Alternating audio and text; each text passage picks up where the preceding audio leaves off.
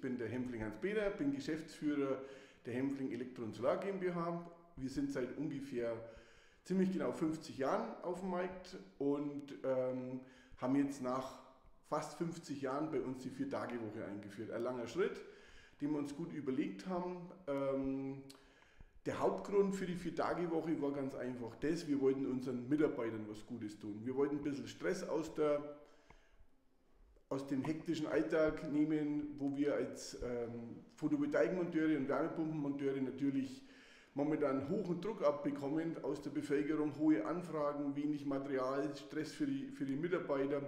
Und ähm, wir haben einfach gesagt, nee, wir müssen einen Gang zurückschalten, wollen unseren Mitarbeitern was Gutes tun und so natürlich auch neue Mitarbeiter gewinnen, die mit uns die Vier-Tage-Woche weiter durchziehen wollen.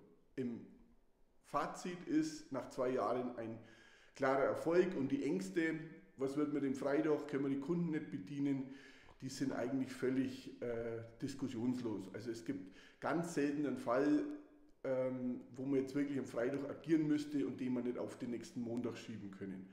Also deshalb von mir Daumen hoch für die Vier-Tage-Woche. Hallo, mein Name ist Daniel Schiller, ich bin 33, komme aus Bayreuth.